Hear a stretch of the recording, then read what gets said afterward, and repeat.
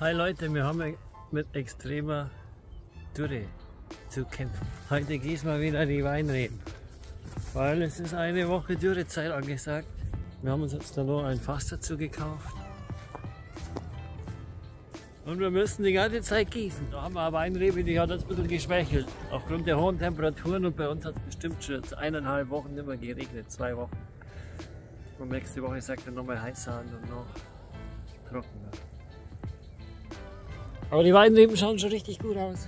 Hier haben wir Solaris.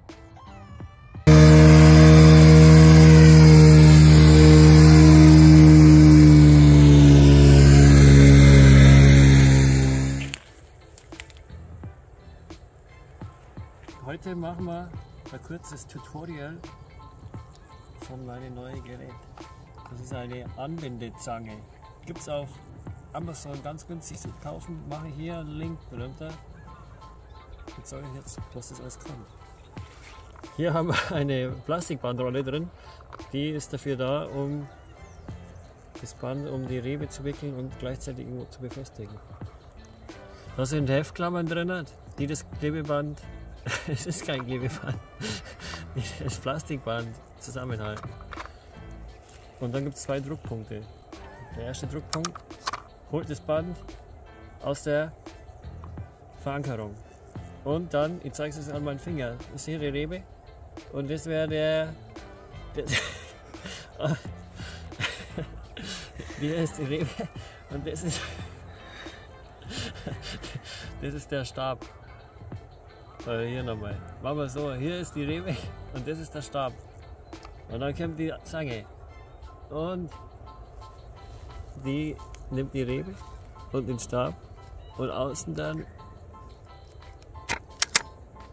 ist es dann so zusammen. Richtig gut. Und jetzt sagen wir es nochmal schnell. Live an der Weinrebe. Das können wir jetzt aber leider nicht mehr bewegen, weil ich bin hier gehandicapt. Und ich kriege das nicht mehr auseinander.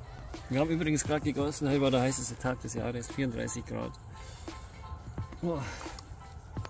Genau, also nochmal hier, erster Druckpunkt, holt man das Band raus, dann nehme ich die Rebe und